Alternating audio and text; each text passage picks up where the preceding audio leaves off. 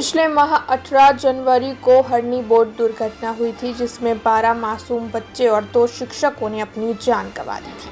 तब आपको बता दें कि ब्रजधाम आध्यात्मिक संकुल यानी कि विवायो की ओर से मृतक के परिजनों को इक्यावन हज़ार रुपयों की सहाय देने की घोषणा की गई थी, जिसके मद्देनजर आज विवायो पर परम पूज्य वैष्णवाचार्य व्रजराज कुमार महोदय की प्रेरक मौजूदगी में इक्यावन हज़ार की सहाय रकम मृतक के परिजनों को अर्पित की गई थी વલ્લભ યુથ ઓર્ગેનાઇઝેશન વિવાયોના તત્વાવધાનના અંદર આજે બ્રજધામ આધ્યાત્મિક સંકુલના અંદર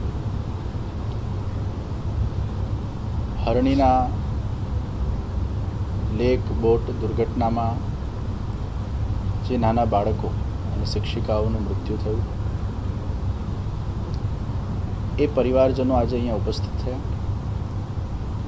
અને વિવાહના પંચામૃત યોજના અંતર્ગત પરિવાર દીઠ એકાવન હજારની રાશિ આજે અર્પણ કરવામાં આવી છે. અને જ્યારે જ્યારે આવી કોઈ હોનારત થાય છે, ત્યારે અમારા વિવાયો વિશ્વ પરિવારના બધા જ સદસ્યો આવા સત્કાર્યમાં હંમેશા નિમિત્ત બનતા હોય છે.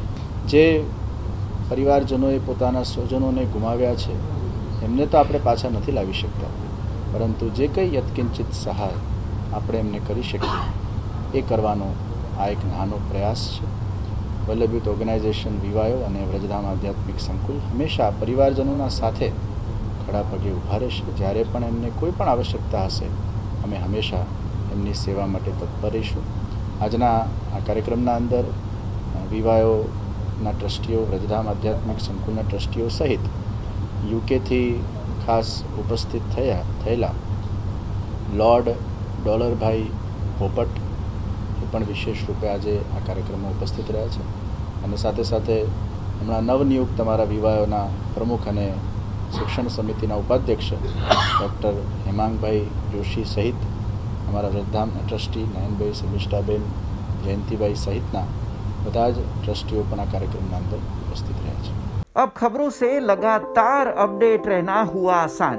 बीआरजी न्यूज़ आपके मोबाइल स्क्रीन पर। आज ही बीआरजी न्यूज़ की mobile app Google Play Store और ऐप स्टोर से डाउनलोड करें और खबरों से लगातार जुड़े रहें।